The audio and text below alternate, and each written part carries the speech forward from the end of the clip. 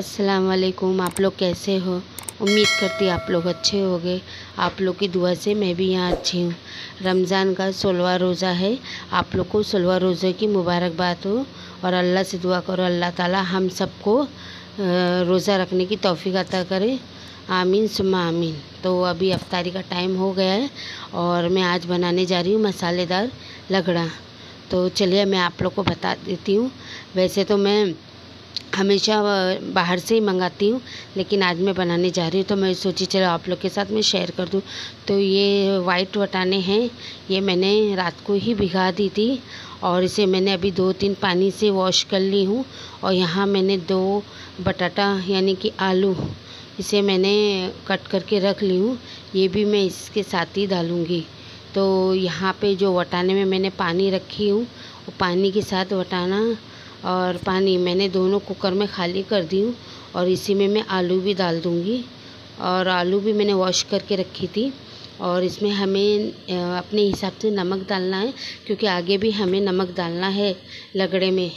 तो वो हिसाब से आप अपने हिसाब से इसमें नमक डाल देना और इसमें अभी हल्दी डाल दूँगी। तो मैं अपने हिसाब से हल्दी डाल देती हूँ। जैसे कि बस आधा ही चम्मच डालूँगी, ज़्यादा नहीं डालूँगी। तो आप लोग को अगर ज़्यादा लगता है तो आप ज़्यादा डाल सकते हो। मैं तो आधा ही चम्मच डाल रही और बस इसे मैं बंद करके रख दूँगी और इसे करीब मैं चार या पाँच सीटी आए तक मैं इसे पका लूँगी। वैसे तो चार सीटी में हो जाएगा, लेकिन मैं एक्स्ट्रा ले ले रही हूँ कभी मटर गले या ना गले इस वजह से।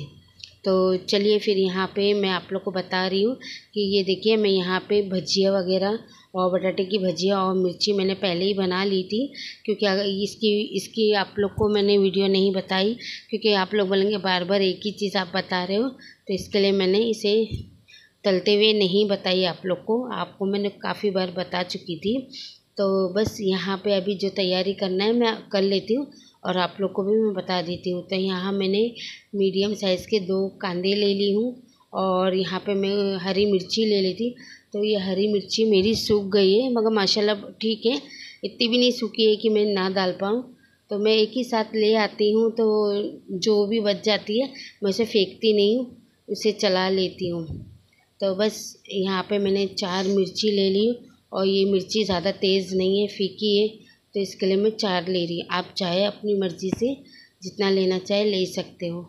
तो यहाँ मैं कांदा कट कर लेती हूँ, और साथ ही साथ मिर्ची भी कट कर लूँगी। और यहाँ हमें मीडियम साइज़ के दो टमाटर लेना है। और अगर बड़ा लोगे तो आप एक ही लेना, या छोटे लोगे तो दो ले लेना। बस इतने ही, जितना मैं लेती हूँ, मैं वो आप लोग को बता रही अगर आप लोग के यहाँ ज़्यादा पकता है तो आप अपने हिसाब से ले सकते हो। और बस यहाँ पे मैं कांदे कट कर लेती हूँ और साथ ही साथ में यहाँ मिर्ची भी कट कर लूँगी। और आप लोग से मैं कहना चाहती हूँ कि कल मैं वीडियो नहीं भेज पाई। वैसे क्योंकि मैंने वीडियो बनाई थी, मगर गलती से मेरे से ही डिलेट हो गया था। तो मुझे बहुत अफसोस हुआ उस बात का कि मैंने वीडियो नहीं भेज पाई, क्योंकि आप लोग भी इंतज़ार करते होगे और मुझे भी बहुत इंतज़ार रहता आप लोग का। आप लोग जब मुझे कमेंट करते हो मुझे अच्छा अच्छा बोलते हो और मेरी रेसिपी की तारीफ़ करते हो तो मुझे भी अच्छा लगता है। और आप लोग मुझसे कुछ भी बात शेयर करते हो तो उससे भी ज़्यादा मुझे अच्छा लगता है। ठीक है, अभी हो जाती गलती जैसे मेरे से हो गई है। इंशाल्लाह नेक्स्ट टाइम नहीं होगी, मगर मुझे बहुत बुरा लगा था, क्योंकि मैं रोज़ा खोलने के टाइम भी आप लोग को याद कर रही थी। और बस मेरे बच्चों लोग से मैं वही बोल रही थी, आज मुझे बहुत बुरा लग रहा था कि मैंने आज नहीं भेज पाई। और मेरे से डिलेट हो गया। तो बच्चे लोग ने बोले, कोई बात नहीं, मम्मी कल भेज देना। तो बस वही मैं अभी बना के आप लोग के, आप लोग को भेज रही हूँ। तो प्लीज़ आप ज़रूर देखना मेरा वीडियो, और अगर आप लोग को अच्छा लगे तो लाइक ज़रूर करना। और आपसे रिक्वेस्ट है, आप मेरा वीडियो देखा करें तो प्लीज़ पूरा देखा करें। अगर आप लोग को अच्छा लगे, तब लाइक करना। तो और जो मेरे चैनल में नए आ रहे हैं, प्लीज़ मुझे सब्सक्राइब कर लेना। और आप इंशाल्लाह मेरे वीडियो देखेंगे, आप लोग को अच्छी अच्छी वीडियो मिलेगी। और बस यहाँ पे आप लोग को मैं बता रही हूँ, यहाँ पे चार सीटी हो गई थी और माशाल्लाह यहाँ पे आलू और मटर दोनों अच्छी तरह से गल गया है। तो मैं यहाँ पे इसको थोड़ा सा चम्मच से फोड़ लेती हूँ आलू वगैरह और इसे मैं थोड़ा सा चला के इसे मैनेज कर लेती हूँ। और बस इसे ज़्यादा नहीं करना, हमें हल्का ही करना है। ताकि वो गाढ़ापन तो वो हो ही जाएगा, मगर बस थोड़ा ही से करना है, ज़्यादा नहीं करना है।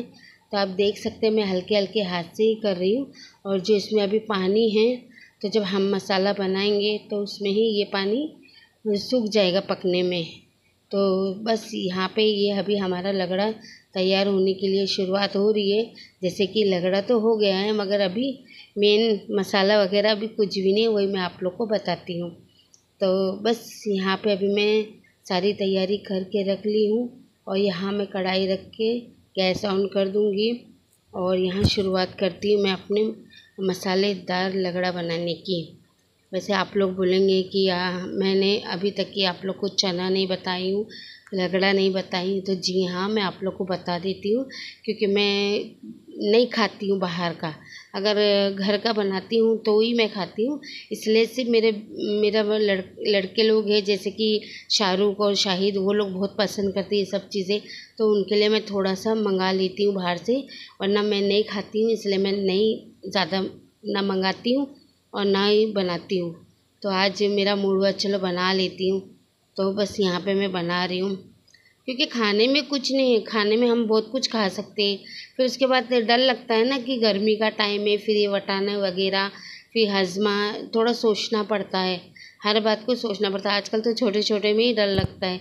लेकिन माशाल्लाह भी अभी तक के तो रमज़ान सब अच्छी तरह से जा रहे हैं। माशाल्लाह कोई प्रॉब्लम नहीं है। थोड़ा बहुत उन्नीस बीस हो जाता है, मगर वो भी अल्लाह का करम है। सब कुछ ठीक होता है। सब ठीक हो सॉरी सब ठीक हो जाता है।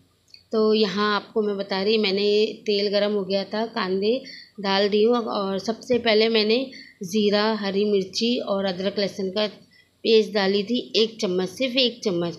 और फिर उसमें मैंने कांदे ऐड कर दी थी। कांदे मेरे हल्के ब्राउन हो गए थे तो मैंने इसमें टमाटर ऐड कर दी। और टमाटर के बाद जब इसे मैंने गलने के लिए छोड़ दी थी तो इसमें मैंने थोड़ा सा नमक डाल दी थी। हाँ एक बात का ध्यान ज़रूर रखना कि हमने जब वटाने गला रहे थे, मटर आलू सॉरी तो उसमें भी हमने नमक डाले थे और इसमें भी डाले तो ध्यान रखना आप, ऐसा ना हो जाए कि ज़्यादा हो जाए। तो बस यहाँ पे अभी मैं सूखे मसाले डाल दूँगी, जैसे कि मैंने हल्की सी, सिर्फ़ हल्की सी ही मैंने डाली हूँ हल्दी पाउडर, क्योंकि हमने पहले भी डाल चुके थे उबलने के लिए, और यहाँ मैंने एक चम्मच मिर्ची पाउडर ले ली, एक चम्मच गरम मसाला और एक चम्मच मैंने ये अपना सॉरी धनिया पाउडर ले ली। बस यही हमें डालना है और यही हमारा मसाला है। बस इसी से माशाल्लाह इतना अच्छा बनता है ना, ये लग रहा कि मैं आपको क्या बताऊँ। आप लोग ज़रूर ट्राई करना, आप लोग को ज़रूर पसंद आएगा। और मेरे घर में इस टाइम जो सामान था, मैं उसी से बना ली। वरना और भी हम इसे, और भी चीज़ों से और अच्छा टेस्टी और लज्जतदार बना सकते थे, लेकिन मेरे पास इस टाइम नींबू वगैरह नहीं था और आप लोग को बता दूँ कि कोतमीर भी नहीं थी।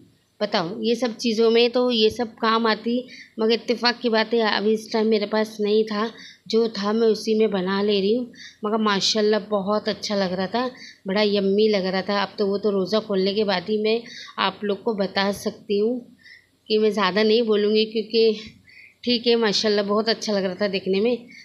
और बस यहाँ पे मैंने इसे पकने के लिए रख दी और यहाँ मैं आप लोग को बता रही क्या यहाँ मैंने भजिया और बटाटे की भजिया की प्लेट तैयार कर ली हूँ और यहाँ पे थोड़ी सी मैंने हरी मिर्ची को बेसन में फ्राई कर ली थी।